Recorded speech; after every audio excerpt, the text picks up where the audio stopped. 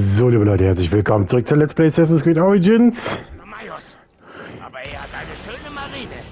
Ich bin kein Feldherr mit prall gefüllten römischen Schatzkammern. Das waren meine Männer. Ganz ruhig, Foxy, das. Wir sind noch nicht am Ende. Unsere Katapulte erledigen das. Sie werden bezahlen. Und teuer bei Zeus Eiern. Ich will den Ozean mit ihrem Blut tränken. So, den ersten haben wir schon mal. Gebt den Befehl, erhöht die Schlagzahl. Ja, mein Kapitän. Alala! Sie schicken eine Oktäre, eine schwimmende Stadt.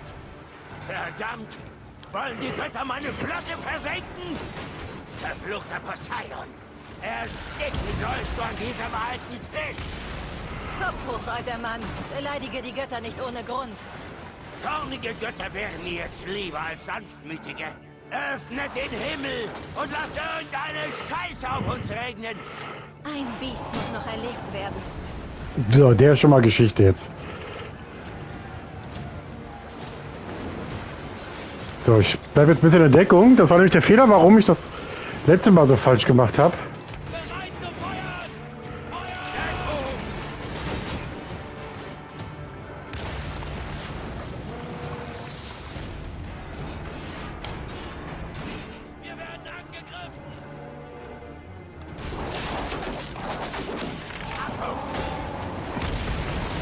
So, jetzt sind die Sachen Geschichte. Sind zumindest bei der kleine Nervenkeks da in die Geschichte.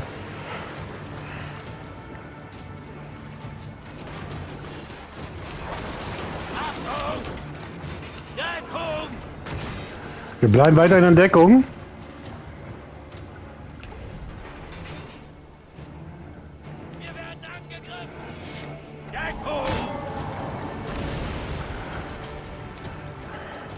Wir arbeiten weiterhin komplette Nummer in Deckung, ja.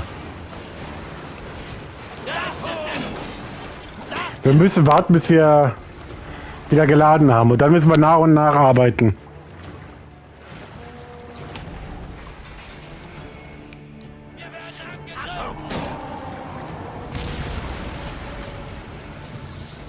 Wir müssen weiterhin arbeiten. Wir müssen...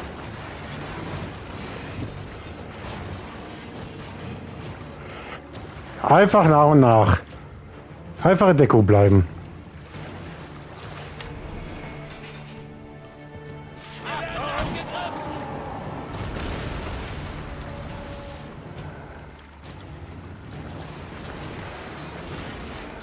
Einfach erstmal nur in Deckung bleiben. Mehr kann man, kann man jetzt eh nicht machen. Und dann wir es nach und nach. Wir haben jetzt zwei Salben gesetzt.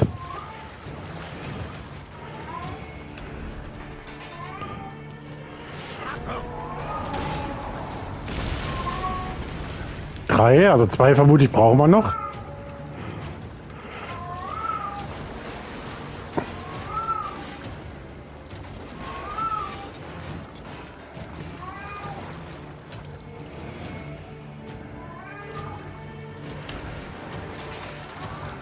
Deckung!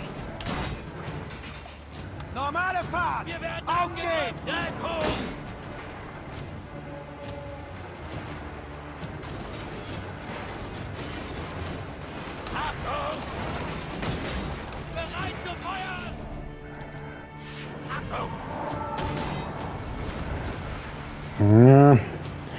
Ganz. Aber wieder warten.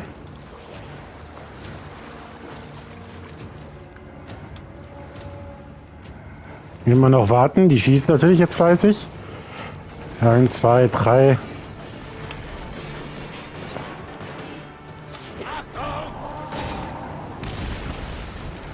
Ja, vielleicht auch zwei. ja.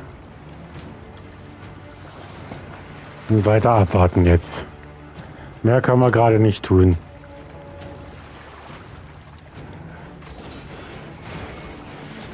Das ist nämlich der Fehler. Deswegen habe ich ja.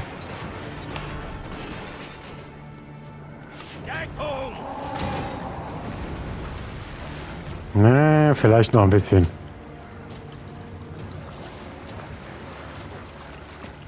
Ich glaube, weiß nicht, ob wir jetzt auch einen Volltreffer landen müssen. Wir bleiben weiter in der Deckung. Wir erwarten jetzt erstmal noch die drei Ladungen ab. Jawohl. Deckung! Bereit zu feuern! Deckung! Gesetzt, gesetzt. Das war der Fehler, den wir die ganze Zeit gemacht haben. Wir haben nicht unsere Deckung begeben. Ich muss euch gerade was sagen dazu. Ich war tatsächlich kurz davor, äh, das Let's Play abzubrechen. Ich war wirklich kurz davor. Ich habe die Folge jetzt wieder gelöscht, wo ich mich ziemlich aufgeregt habe, weil, wie gesagt, das nicht funktioniert hat. Warum auch immer. Mein Fehler war, nicht Deckung zu gehen. Das, was ich jetzt die ganze Zeit gemacht habe. Deckung, äh, äh, draufmörsern und Deckung gehen, die Sachen abwarten, keinen Schaden nehmen und feste drauf. Immer wieder feste drauf. Jetzt haben wir es hingekriegt. Das Schiff konnte uns jetzt nichts anhaben, oder nicht viel. Oder hat noch genug Leben. Und äh, ja, wir haben es deswegen dann auch irgendwann versenkt. Allerdings. Glücklich über deine grimmige Gesellschaft. Tut es dir leid, dass ich dich aus dem Ruhestand geholt habe? Ganz und gar nicht. Ganz und gar nicht. Mein Blut fließt schneller. So, warum ist wir jetzt... Ach, die... Bei Zeus. So viel Aufregung habe ich seit den frühen Tagen von Kleopatras Vater nicht mehr erlebt. So, wir haben es auf jeden Fall dann geschafft. Neue Aufnahmesession, abgeregt. Und jetzt feiern, du drauf. alter Mann. Wir sind noch auf See mit einer Fracht im Wert von 1000 Schiffen. Ob Kleopatra unbeschadet überlebt hat? Ihre Kleider sahen teuer aus. Alle sind sicher, das war's. Angriff von Steuerbord! Also verfahren! Ptolemäus Schwächlinge sind nicht tot. Nehmt die Schilfboote und entkommt durch den Nebel. Ich erledige das hier. Das Schicksal ist ein räudiger Hund, Eier. Genießt die Ruhe, ich bleibe hier am Strand. Flieht, ihr Narren! Ignoriert die Pfeile!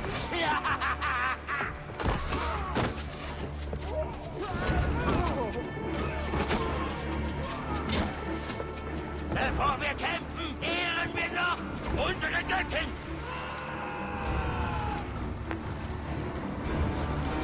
Jedenfalls haben wir es geschafft. Gott sei Dank. Und das sogar beim ersten Mal direkt mit einer neuen Aufnahmesession.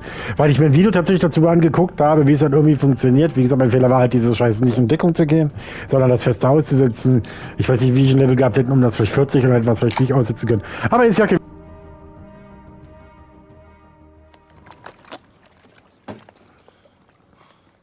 Wir dürfen auf keinen Fall römisches Blut vergießen. Man kann nicht bis an die Zähne bewaffnet in den Palast spazieren. Dann legen wir die Waffen ab. Bewaffnet oder nicht, sie wird erkannt werden.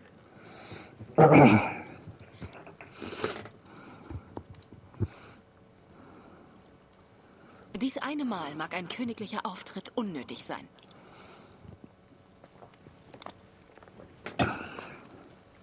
Was machen wir jetzt aus dir? Dürüm oder was?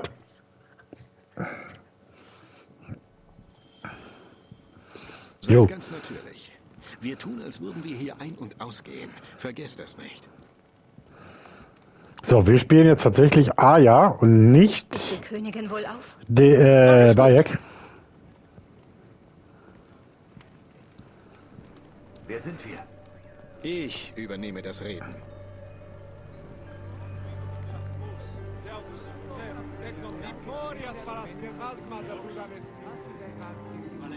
Kein Zutritt ohne Eskorte oder königliches Siegel. Bitte was? Ich bin der Nomorch von Heliopolis. Und das sind meine Philakidei. Wir bringen Geschenke von unseren örtlichen Händlern. Lass sie passieren. Mit einer Eskorte. Folgt mir. Hier entlang. Unser Imperator weiß die Gastfreundschaft zu schätzen. Habt ihr den warmen Empfang genossen, für den unsere Pharaonen berühmt sind? Wir feiern erst, wenn eine Allianz besiegelt wurde. Euer Visier und der König haben uns hier im Palast würdig untergebracht. Allerdings kann ich nicht garantieren, dass mein Imperator euch empfangen wird. Das verstehen wir. Du bist ein guter Legionär. Wir haben Geduld. So, bleiben wir mal ein bisschen weg von seiner Fackel.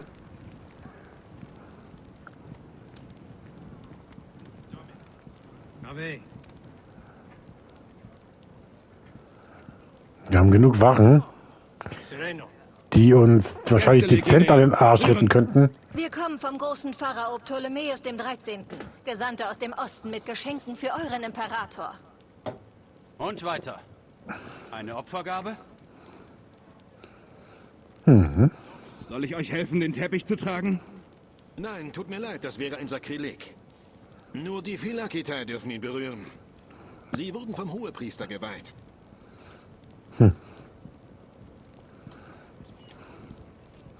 Klar, sonst würde natürlich die ganze Tarnung auffliegen. Tretet zur Seite, Legionäre! Offizielle Gesandte des Pharao! Wer bist du? Du siehst aus wie ein Fahrer aus dem Hippodrom. Das bin ich. Besuch doch mal ein Rennen. Der sivanische Krieger. Weiter hier entlang! Gäste, Legionär! Rühren! Wir bleiben im Palast, bis die Politik geklärt ist. Mein Palast steht euch zur Verfügung, Gaius. Früher oder später muss...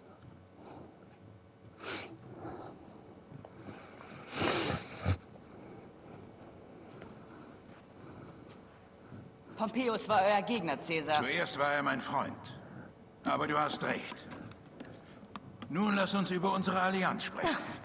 Was soll das? Verzeiht, mein Caesar. Ein Geschenk unserer Pharaonin Kleopatra. Pharaonin?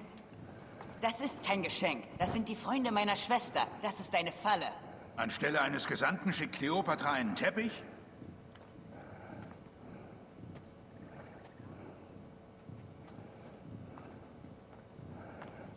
Wir fragen uns, wie ihr alle in unseren Palast kamt.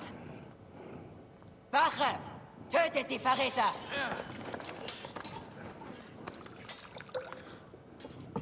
Mein leidiger Bruder. Er lässt den Wein zu Essig verkommen und unser Königreich zerfallen.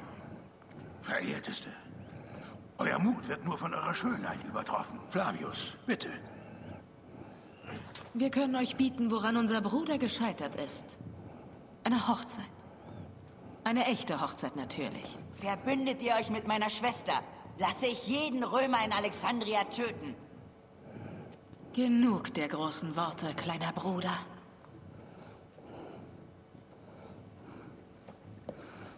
Raus, alle.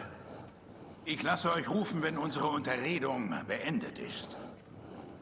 Ich möchte mir gern beide Seiten der Geschichte anhören.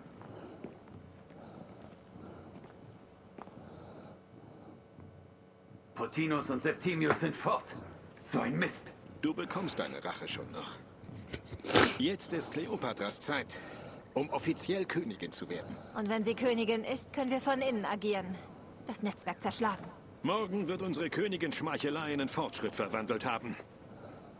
Dann treffen wir uns wieder in den Gärten. Ihr habt euren Wert zehnfach bewiesen. Ihr seid wahrlich große Magi.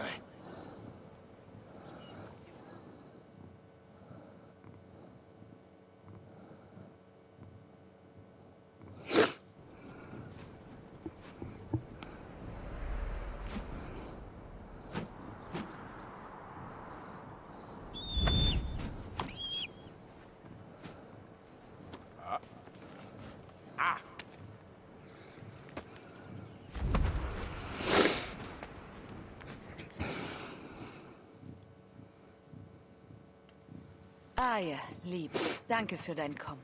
Alles läuft gut mit dem großen Cäsar. Gut, meine Königin. Bald sitzt ihr auf eurem Thron. Ja, ja. Tu uns bitte einen Gefallen. Das Grab. Wir möchten dem großen Cäsar die Ehre erweisen, den Erschaffer unseres Königreichs zu sehen, Alexander den Großen. Ihr wollt euren neuen Liebhaber beeindrucken. Das Grab ist versiegelt, oder? Das ist es, doch durch eine Tat Gaias, nicht durch ein königliches Dekret. Ein Erdbeben in den frühen Tagen der Herrschaft unseres Vaters hat die Tür versperrt. Kennst du unsere Metropole so gut, dass du einen alternativen Eingang vorschlagen könntest? Durch den Untergrund.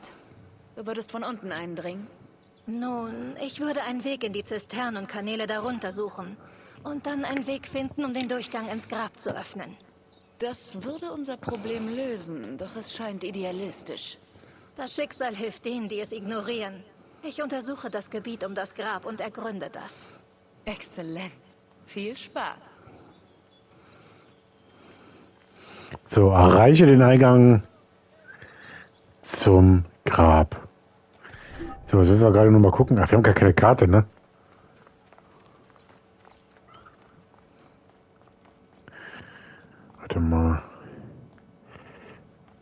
Müssen wir... Aber wir müssen zum Grab irgendwie da runter. Alles klar. Gut, dann machen wir das jetzt erstmal. Lassen wir die Jungs mal da stehen, wie sie gerade sind. Ich glaube, wenn wir den jetzt...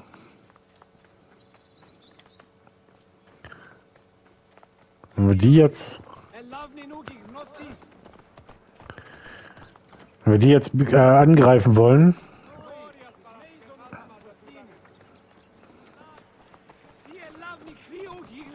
Gut, äh, Zeno ist nicht verfügbar, weil der natürlich Bayer gehört.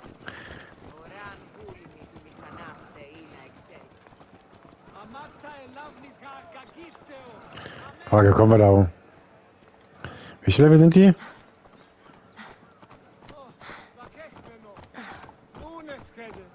Neun, zwölf.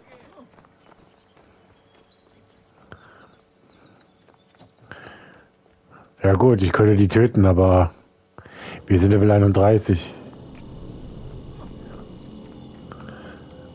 Ich muss überlegen, wie komme ich da...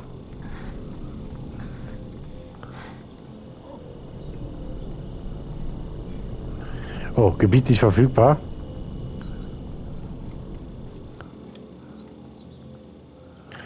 Das heißt, das muss hier irgendwo sein, der Eingang.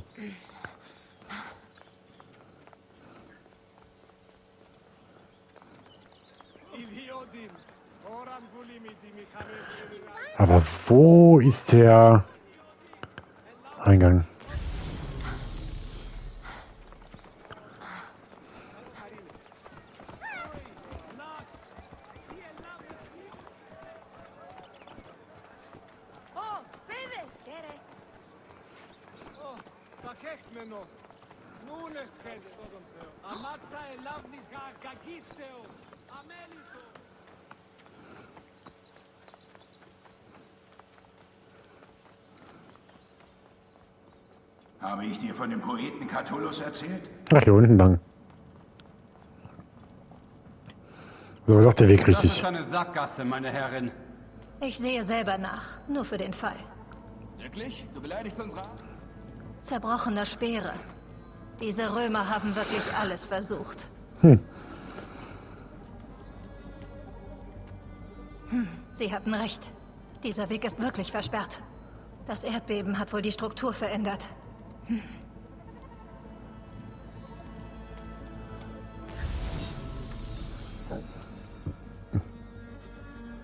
Seltsam. Diese Wand ist nicht so stabil, wie sie aussieht. Es muss einen Weg geben. Herum!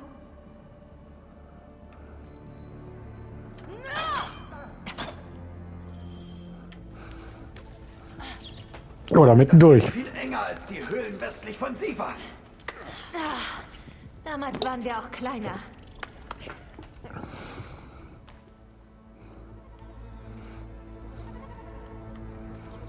So, erkunde die Tunnel. Aber liebe Leute, das machen wir dann in der nächsten Episode. Bis dahin, tschüss.